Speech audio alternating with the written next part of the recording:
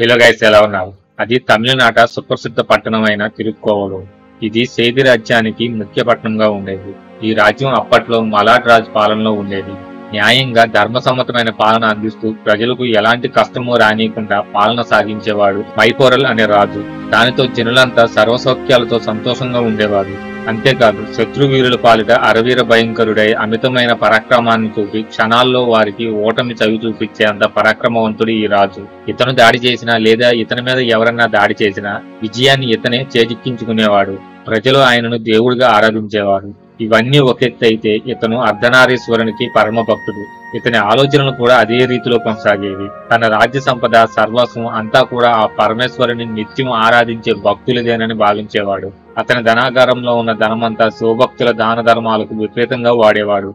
నగరంలో ఉన్న శివాలయాలన్నింటిలోనూ భక్తిరస ప్రధానమైన సంగీత కార్యక్రమాలు చర్చాగోష్ఠులు నిర్వహింపజేసేవాడు. అతను రాజుగా రాజ్యాన్ని పరిపాలించినప్పటికీ అతని మనస్సు ఎల్లప్పుడూ భగవంతుని పాదాలపైనే ఉంటుంది. ఆయన పరిధిలో ఉన్న దేవాలయాల్లో రోజు ప్రత్యేకమైన పూజలు ఉత్సవాలు నిర్వహించేవారు. ఎల్లప్పుడూ ఒక పండగ వాతావరణంలో ఉండేది. ఈ విధంగా నిరంతరం అడిగిన వారికి అడిగినట్టు దానం చేస్తుంటే కోశాగారంలో సొమ్మంతా మంచు ముద్దలా కరిగిపోయింది. అయినా అతనేమీ తన విధి నిర్వహణ ఆపేవాడు కాదు. అతని ఉదార బుద్ధిని చూసి పరాయి రాజైన మొత్తనాథుడికి అసూయ విపరీతంగా పెరిగిపోయి ఎలాగైనా ఇతన్ని అర్థం చేయాలని ప్రయత్నాలు మొదలుపెట్టాడు. ఆ ప్రయత్నంలో అప్పటికే పలుమార్లు ఈ రాజ్యంపైకి దండెత్తి వచ్చాడు అయితే వచ్చిన ప్రతిసారి మలాద్రాజు పరాక్రమం ముందు నిలబడలేక ఓడిపోయి పారిపోయేవాడు. వచ్చిన ప్రతిసారి పెద్ద ఎత్తులో అశ్వకదళం దళం గజ దళం అంతా నష్టపోయేవాడు. దీనికి తోడు అవమానంతో వెనుతిరిగి వెళ్ళాల్సి వచ్చేది.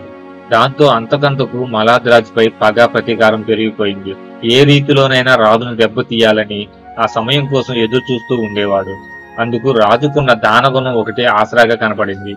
ఆ గుణాన్ని అవకాశంగా తీసుకొని ఒక రోజు శివభక్తుని వేషం వేసుకొని అచ్చం పరమశివుని అవతారం లాగా అలంకరించుకొని మలాదిరాజు ముఖ్య పట్టణమైన తిరుక్కోవలూరు ప్రధాన రాచవీధిలోకి ప్రవేశించాడు. నగరమంతా శివభక్తులతో నిండి ఎటు చూసిన భక్తి సంకీర్తనలు మాయమర్చి చేస్తున్న ఆనంద తాండవాలు చిరుగజ్జల మరుసభలు వినిపిస్తూ హృదయంలో భక్తి పారవాసాన్ని రేకెత్తిస్తూ ఉంటాయి. అయితే ఈ ముత్తనాడు మాత్రం ఇదంతా చూసి పగతో రగిలిపోయేవాడు. ఊరంతా శివభక్తులే ఉండటం వలన వేసింది శివభక్తుని వేషం కావడంతో అతని రాకను ఎవ్వరూ ఆపలేదు. ఇదే అదునుగా తీసుకుని శరవేగంతో పెద్దగా శబ్దం చేస్తూ వడివడిగా అడుగులు వేసుకుంటూ నిరాఘాటంగా అంతఃపురంలోకి ప్రవేశించాడు. అయితే అంతఃపుర ద్వారం వద్ద కాపలాగా ఉన్న దత్తన్ అనే ప్రధాన సేవకుడు లోనికి ప్రవేశించబోతున్న ముత్తనాథుడిని అడ్డగించాడు. అయ్యా మా రాజుగారు పగలంతా రాజ్యపాలన వలన అలసిపోయి పట్టపుదేవితో కలిసి విశ్రాంతి తీసుకుంటున్నారు. కాబట్టి తెల్లవారుగానే రాజుగారి దర్శనం చేసుకుందరు గాని అప్పటి వరకు ఆ అతిథి గృహంలో విశ్రాంతి తీసుకోండి అని ఎంతో వినయంగా మనం చేశారు. ద్వారపాలకుడు అన్న మాటలకు మరింతగా రెచ్చిపోతూ దూతుడా ఈ శివభక్తునికే మీ రాజ్యంలో ఇంతటి గౌరవమానమా ఇదేనా మీ రాజు భక్తులకిచ్చే గౌరవం? నేను ఒక దివ్య కార్యార్థం ఇక్కడికి వచ్చాను. అడ్డు తొలుగు లేదంటే శపిస్తా అంటూ అతన్ని పక్కకు నెట్టివేసి చరచరా లోనికి వెళ్ళాడు ముత్తనాడు. లోపల తన రాణితో ఉన్న సమయంలో ఆగ్రహావేశాలతో ఊగిపోతూ ప్రవేశించిన ముత్తనాథుని చూశాడు రాజు. అయ్యా మీలాంటి అచ్చమైన శివభక్తునికి ఇంత ఆగ్రహం తెప్పించింది ఎవరు? పొరపాటు అయిపోయింది క్షమించండి. వారి తరపున ఈ దేశపు రాజుగా నేను క్షమాపణలు కోరుతున్నాను అంటూ అతనికి నమస్కరిస్తూ శాంతింపజేయడానికి ప్రయత్నించాడు రాజు. తన శత్రువు ఇంతగా తనని నమ్మినందుకు లోపల సంతోషపడుతూ రాజా నీకు ముఖ్యమైన దేవరహస్యాన్ని తెలిపేందుకు ఈ సమయంలో ఇక్కడికి రావాల్సి వచ్చింది. నీ ద్వారపాలకుడు ఆ సంగతి తెలుసుకోలేక నన్ను ఆపేందుకు పూనుకున్నాడు. దాంతో అతని పక్కకు తోచి నీ వద్దకు రావాల్సి వచ్చింది అని అంటాడు. ముఖ్యంగా పరమశివుని వద్ద నుంచి సేకరించిన పురాతనమైన ఆగమశాస్త్ర విషయాన్ని ఒకటి నీకు తెలియబరుద్దామని ఆగమేఘాల మీద నీ వద్దకు వచ్చాను అని అంటాడు.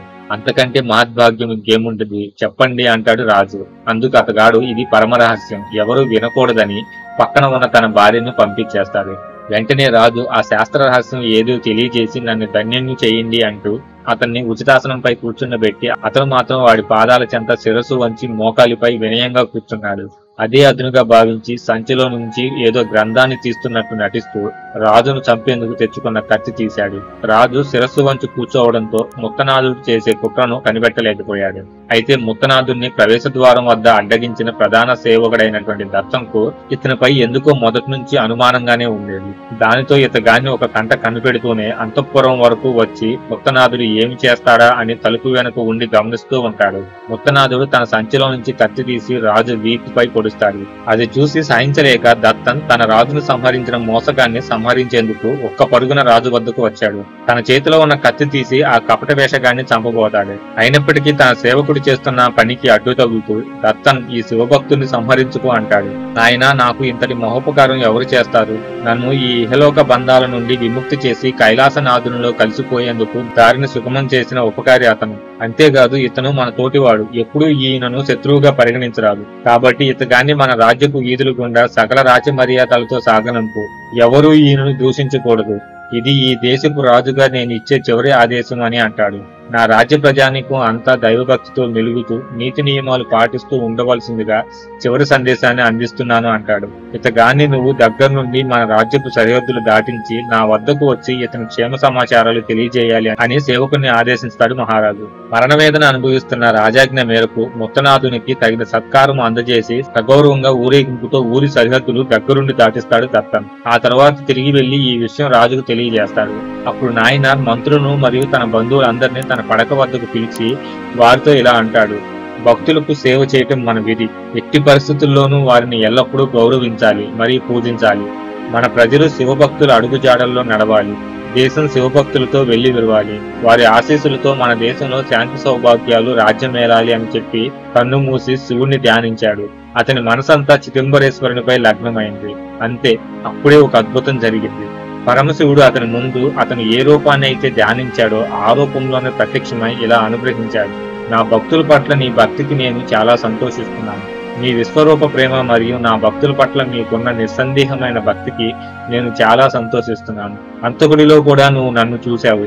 కాబట్టి దేవతలు కూడా చేరుకోలేని అత్యున్నతమైన స్థానానికి చేరుకోవడానికి నీవు అర్హుడివే అంటూ నీవు త్వరలో నా నివాసానికి వస్తావని చెప్పి ఆ సర్వేశ్వరుడు అదృశ్యమైపోతాడు. పరమేశ్వరుని కొలిచేందుకు కోటీశ్వరుడే కానవసరం లేదు. ఆగర్భ దరిద్రుడైన కోటికి పడగలెత్తిన వాడైనా దైవం చూసేది అతనిలోని నిష్కపటమైన భక్తి కాని ఆర్భాటాలు అట్టహాసాలు కాదు. భగవంతుడు ఎప్పుడూ తన నిజభక్తులని అహర్నిశలు కాపాడుతూనే ఉంటాడు. ఎలాంటి గడ్డు పరిస్థితుల్లోనైనా భగవంతుడే బలం అవుతాడు అలాంటి భక్తుని కదే ఈ మైపోరల నాయనార్ కదా సో గైస్ ఇది ఈ మైపోరల నాయనార్ స్టోరీ నా ఎక్స్ప్లెనేషన్ కనుక నచ్చితే ఈ వీడియోని లైక్ చేసి మీ ఫ్రెండ్స్ అండ్ ఫ్యామిలీ షేర్ చేయండి. మళ్ళీ వచ్చే వీడియో కలుసుకుందాం. అంతవరకు సెలవు. బాయ్